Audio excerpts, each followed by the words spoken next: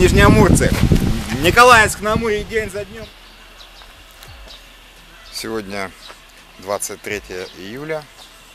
Времени 7 часов утра 5 минут. И с острой болью я пришел в стоматологию. Подумал, что буду, наверное, вторым, ну как минимум пятым. Но не тут-то было. И сейчас вы это все сами увидите, весь, всю нелепость ситуации. Два, три, четыре, пять. И это еще не все. И вот. И когда я зашел сюда, это был поистине для меня шок.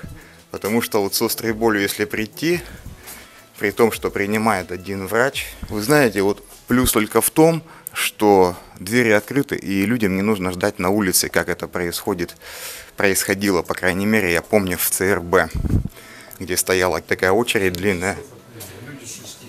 А, люди с шести? О, здорово. Как вам вообще нравится здесь? Так вот. Очень нравится. Здорово, да? Спасибо дорогому Ну, я не знаю, кому тут. сказать. А министерство? Министерство, здравоохранения? Министерство здравоохранения. Большой респект передаются люди. Вы тоже передаете им? Да. Министерство здравоохранения, как обычно, на высоте. Но будем надеяться, тем не менее, что мы сегодня зуб вылечим, потому что у нас должен принимать замечательный врач. Очень скажу много хорошего про него. Мамонтов Антон Сергеевич. Зачем я буду? Со мной! Вы будете за мной. Понятно. Роман Зайцев, живу на ДВ. Стоматология, Николаевск на Амуре, Хабаровский край, планета Земля, северное полушарие, как обычно, Россия.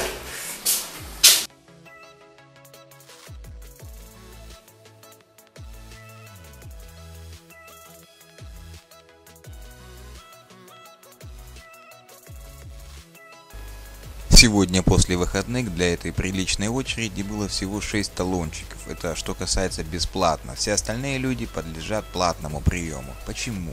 Мне говорят, что у нас рынок, и за все, что наше, мы должны постоянно платить. А я в упор не вижу рынка, но я вижу, как люди надрывают свои спинки. Но мне что-то говорят и говорят, что-то объясняют, да мало ли что там говорят. Когда же прекратится все это издевательство над нами? Чтобы получить услугу, мы должны вставать в 4 часа утра, отстаивать очередь среди таких же бедолаг, да еще платить. Нам говорят, что, что в больнице нет денег, поэтому нас обдирают. А есть мнение, что просто у кого-то нет мозгов. И мне думается, даже зная у кого.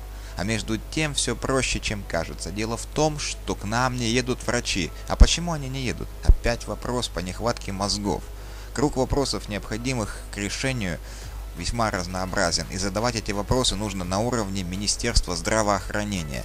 Обвинять врачей и медперсонал глупо, они работают свою работу. Кто-то отлично, кто-то хорошо, кто-то не очень. Вопрос в другом, почему врачей мало? Может быть имеет смысл отправить в марсианскую ссылку верхний эшелон пресловутого министерства, пресловутого здравоохранения?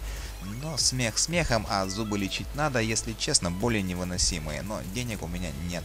Все уходит на содержание колониальных чиновников и судебных э, приставов-коллаборационистов. А раз нет денег, терпи, дорогой, так мне и сказали на ресепшене в стоматологии.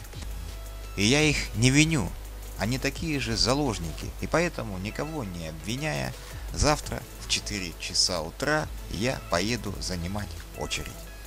Все остальные комментарии в следующих частях. Подписывайтесь на канал, смотрите продолжение. Продолжение следует.